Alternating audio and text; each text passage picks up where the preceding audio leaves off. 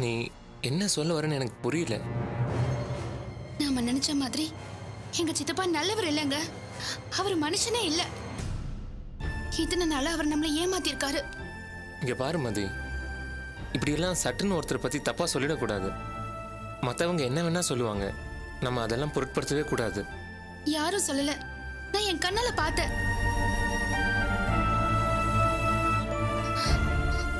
நடராஜ தேடி போலீஸ் சித்தப்பா வீட்டுக்கு போகுதுன்னு நானும் பின்னாடியே போனேன். போலீஸ் கிட்ட நடராஜ பத்தி சித்தப்பா பேசினதெல்லாம் கேட்ட பிறகுதான் அவர் இத்தனை நாளா நடிச்சிட்டு இருந்தாருன்னு தெரிஞ்சது. எங்க அம்மா சொன்னதுதான் உண்மை. அவர் எங்களை பழி வாங்குறதுக்கு தான் இத்தனை நாளா வேஷம் போட்டிருக்காரு. அவர் பண்ணது எல்லாமே டிராமா இங்க பாரு மதி எனக்கு நீ மட்டும்தான் முக்கியம். உங்க அம்மாவோ ஏன்? எங்க அம்மா கூட எனக்கு ரெண்டாம் பட்சம்தான் அப்படி இருக்கிறப்போ யார் இந்த சித்தப்பான்னு ஒருத்தர்? நம்ம ஏன் அவரை பத்தி கவலை பண்ணோம்? விட்டு தள்ளு மதி எனக்கு இந்த ஒரு வார்த்தை போதுங்க. எங்க எனக்காக நீங்க ஒண்ணு செய்வீங்களா? நம்பிக்கை இல்லையா? என்ன செய்யணும்? சொல்லு மதி. அந்த ஆளு கொடுத்த அஞ்சு லட்சத்தை தூக்கி அவர் மூஞ்சிலேயே விட்டு எறியணுங்க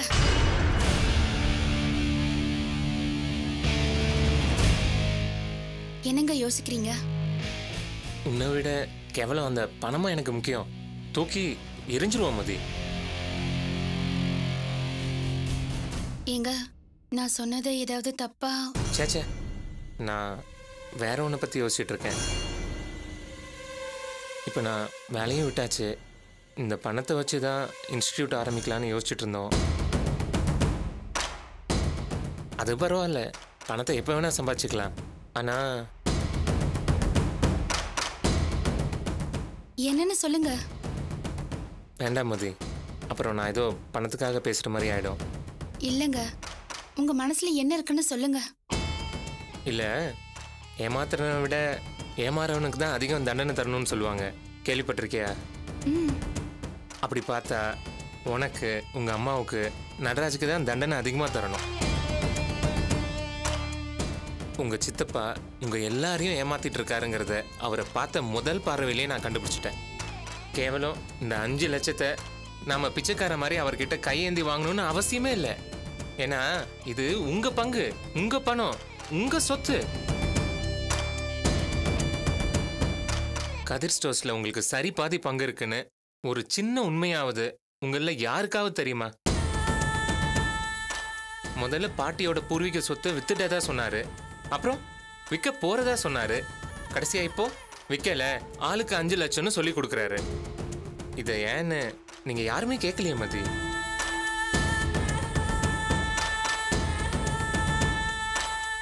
இது எல்லாமே எனக்கு எப்பயோ தெரியும்.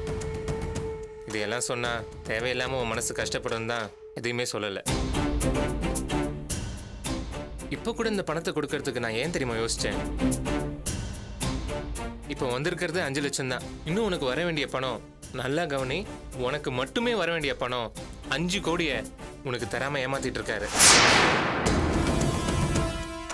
நம்மளை ஒருத்தர் திட்டம் போட்டு ஏமாத்தணும்னு நினைச்சா அதை பார்த்துட்டு நம்ம சும்மா இருக்கலாமா மதி? உங்க அம்மா இத்தனை வருஷமா ஏமாந்து விட்டுட்டாங்கன்னா அவங்க படிக்காதவங்க. அவங்களுக்கு விவரம் தெரியாது. ஆனா நீ படிச்சவ. நீ எப்படி இதெல்லாம் யோசிக்காம விட்ட? என் தம்பியை பத்தி ஒரு வார்த்தை தப்பா பேசுறதுக்கு அவருக்கு யோகிதை கிடையாது. ஏன்னா அவனும் அந்த கடையோட ஓனர். நீயும் தான். இன்னைக்கு வரைக்கும் கதிர் ஸ்டோர்ஸ் தானே பேர் வச்சு கடையை நடத்திட்டு இருக்காரு? ஏன்? துரை ஸ்டோர்ஸ்னு ஏன் வைக்கல? இந்த பேரு பணம் எல்லாமே உங்க அப்பாவுக்கு சொந்தமானது. இதை எதுவுமே தெரிஞ்சுக்காம உன் தம்பி ஐம்பதுக்கும் நூறுக்கும் அவர்கிட்ட போய் பிச்சை எடுத்துட்டு இருக்கான். நீங்க நினைச்சீங்கன்னா அவரை உங்க முன்னாடி கை கட்டி நிக்க வச்சு மன்னிப்பு கேட்க வைக்கலாம்.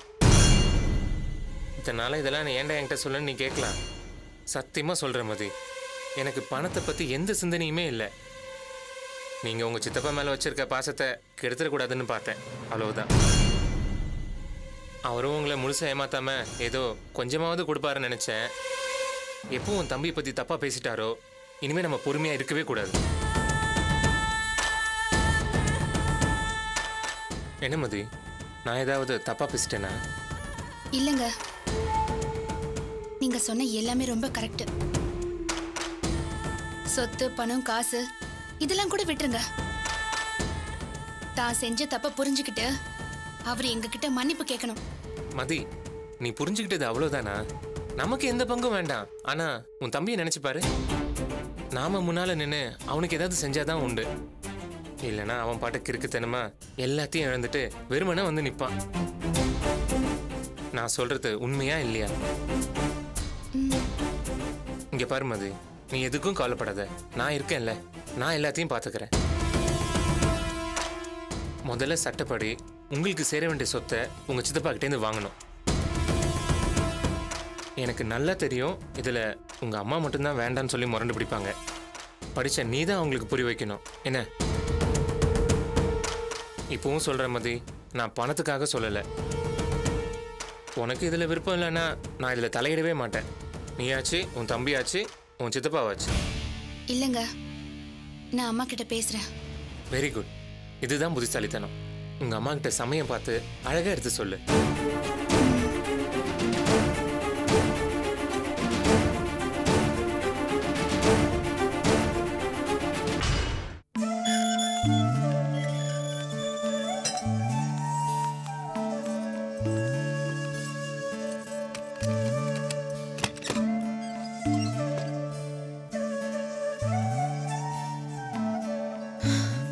நல்ல வேளை. லக்ஷ்மி அம்மா தயவால எந்த பிரச்சனையும் இல்லாம நல்லபடியா முடிஞ்சது. குட்டி அம்மாக்கு ஏற்கனவே லேட் ஆயிடுச்சு. என்னதான் நம்ம டாக்டர் அம்மா வீடுனாலும் அடிக்கடி லேட்டா போனா நல்லாவா இருக்கும்? இன்னைக்கு ஒரு நாளைக்கு மட்டும் நட்ராஜ்க்கு என்ன வேணும்னு கேட்டு அவனுக்கு செஞ்சு கொடுத்துரு. முதல்ல அவனுக்கு காஃபி போட்டு கொடுப்போம் அம்மா நான் பாத்துக்கிறேம்மா நீ முதல்ல கிளம்புமா சரிம்மா நான் டாக்டர் அம்மா வீட்டுக்கு கிளம்புறேன். சூர்யாவை பாத்துக்கோப்பா நான் வரேன். நீ நட்ட இருடா நான் போய் காஃபி போட்டு கொண்டு வரேன்.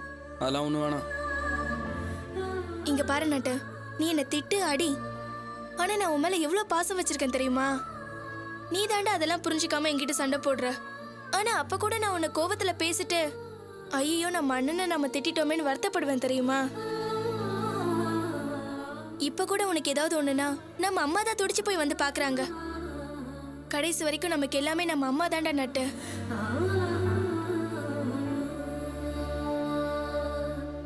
இங்க பாரு. நீ பதில் சொல்லணும்னா கூட பரவாயில்ல. நான் சொன்னது கொஞ்சம் யோசிடா. சரி நான் என் ரெக்கார்ட் நோட்டை கவிதா வீட்டிலே மறந்து வச்சுட்டு வந்துட்டேன். நான் போய் எடுத்துட்டு வரேன். ம்.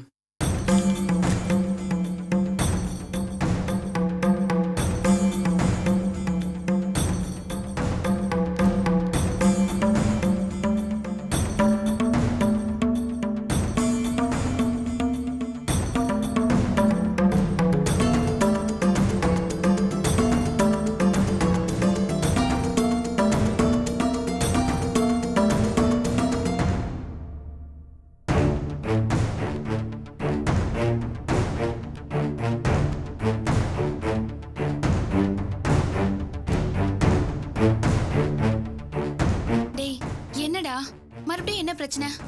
எங்க வீடு வரைக்கும் போலீஸ் வந்துருச்சுடா. எல்லா பிரச்சனையும் முடிஞ்சிருச்சு. இனிமே எதுவும் வராது. அப்பாடா. சரி அம்மா எங்க? வேலைக்கு போயிருக்காங்க. ம், சூர்யா? ரெண்டு வீட்டுக்கு போயிருக்கா. டேய் நான் உன்கிட்ட ஒரு முக்கியமான விஷயம் பேசணும். என்ன சொல்லு. அம்மா சொன்னது ரொம்ப கரெக்ட் நம்ம சித்தப்பா நல்லவர் இல்ல. இப்பதான் எல்லா பிரச்சனையும் முடிஞ்சிருச்சுன்னு சொன்ன. இனி புதுசா ஒன்று ஆரம்பிக்கிற? யார் சொன்னாலும் நீ நம்ப மாட்டேன்னு எனக்கு தெரியும். டேய் நான் உன் கூட பிறந்தவ. உன் மேல எனக்கு அக்கறை இருக்கு. இதை பாருமதி நான் ஏற்கனவே ரொம்ப நொந்து போயிருக்கேன். என்ன டார்ச்சர் பண்ணாத. சரி உனக்கு இதெல்லாம் யார் சொல்லி கொடுக்குறா? இங்க பாரு நீ நம்புனா நம்பு நம்பாட்டி போன்னு சொல்லிட்டு நான் பாட்டுக்கு போயிட்டே இருக்க முடியும். கூட பிறந்த பாசத்துல சொல்றேன். அவரை நம்பாத. அவர் நம்மள நல்லா ஏமாத்துறாரு. ஏமதி பணம் வாங்கின நன்றி கூட இல்லாம ஏன் இப்படி பேசுற? புரியாம பேசாதடா. அது நமக்கு அவர் கொடுக்க வேண்டிய பணம் தான் அவர் ஒன்றும் ஃப்ரீயா கொடுக்கல. அதை புரிஞ்சுக்கோ. அவர் நம்ம கிட்ட உண்மையான பாசத்தோட இல்ல. ஏய் என்னாச்சு உனக்கு? நீ அம்மா மாதிரி பேச ஆரம்பிச்சிட்ட? இத பாரு. சித்தப்பா தப்பா பேசினத நான் என் கண்ணால பார்த்தேன். இப்பதான் ஒரு வழியா அம்மா கிட்ட எனக்கும் சித்தப்பாக்கு நடுவுல எந்த பிரச்சனையும் பண்ண வேண்டாங்கிற மாதிரி பேசுன. இப்ப நீ பேசுற. சொல்லு. என்ன பாக்குற? திடுதிப்புன்னு உன்னை தேடி எங்க வீட்டுக்கு போலீஸ் வந்துருச்சு. நீ சித்தப்பா வீட்ல தான் இருப்பேன்னு என் மாமியார் சொல்லிட்டாங்க. போலீஸ் சித்தப்பா வீட்டுக்கு போகவும் மனசு கேட்காம நான் உங்க பின்னாடியே போனேன். அவங்க உன்னை பத்தி விசாரிச்சப்போ சித்தப்பா உன்னை பத்தி தாறுமாறா சொல்லிட்டு இருந்தாரு. அவருக்கும் நமக்கும் எந்த சம்மந்தமும் இல்லையா? ஏதோ போன போதுன்னு உதவி செய்யறாராம் நீ இவ்வளவு மோசமானவன் தெரிஞ்சிருந்தா உன்கிட்ட கான்டாக்டே வச்சிருந்திருக்க மாட்டாராம். என்ன மதி சொல்ற? சித்தப்பா அப்படி சொன்னாரு.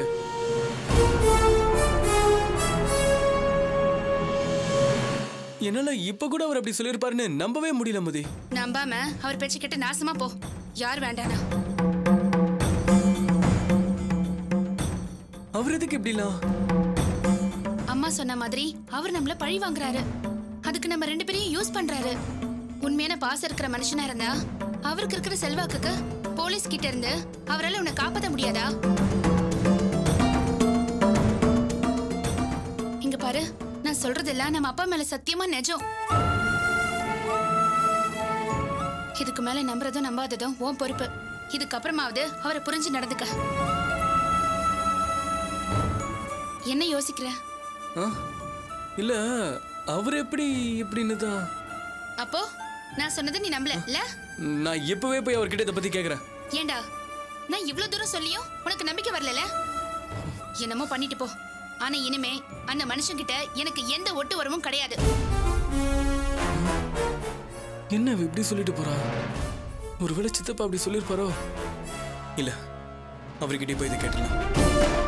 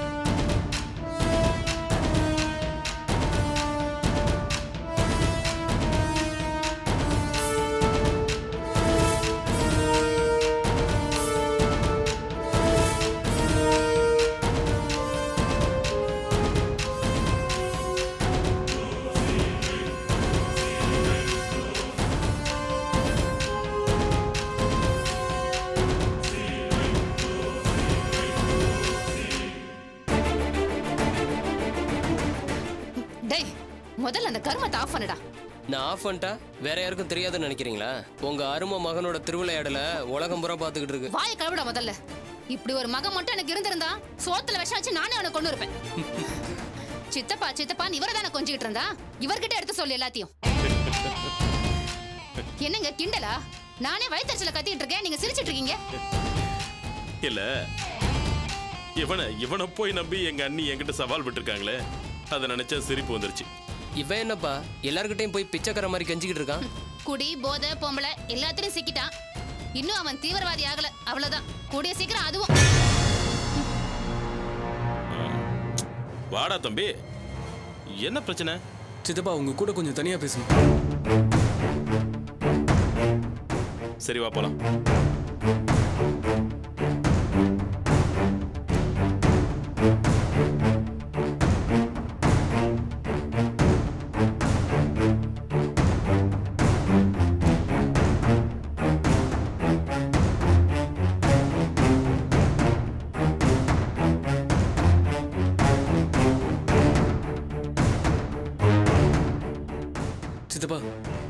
ஏன் சித்தப்பா இப்படி பண்ணீங்க? போலீஸ் என்னை தேடி இங்க வந்தப்ப என்ன தெரியவே தெரியாதுன்னு சொன்னீங்களாமே?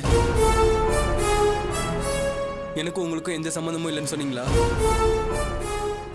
இதெல்லாம் உனக்கு யார் சொன்னா? மதி தான் சொன்னான் போலீஸ் வந்தப்போ மதி இங்க வந்தாலாம் நீங்க பேசுனதெல்லாம் கேட்டேன்னு சொன்னான் சித்தப்பா அப்படிலாம் பேசியிருக்க மாட்டாருன்னு நான் சொன்னேன். இல்லப்பா நான் பேசுனது உண்மைதான்.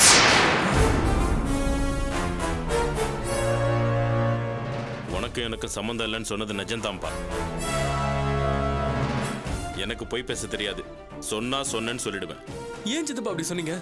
எனக்கு எல்லாமே நீங்க தான் நம்பிட்டு இருக்க நீங்க போய் எப்படி இந்த மாதிரி சொன்னீங்க? சும்மா பைத்தியகாரத்தனமாலாம் பேசாத. நீ தப்பு பண்ணியா பண்ணலையாங்கிறத பத்திலாம் எனக்கு கவலையே இல்லை. நீ கொலையே பண்ணியிருந்தா கூட நீ நேரா வந்து என்கிட்ட சொல்லியிருந்தீன்னா நான் பேசி உன்னை காப்பாத்திருக்க மாட்டேனா? தப்பு பண்ணிட்டு நீ பாட்டுக்கு ஓடி ஒளிஞ்சிட்ட.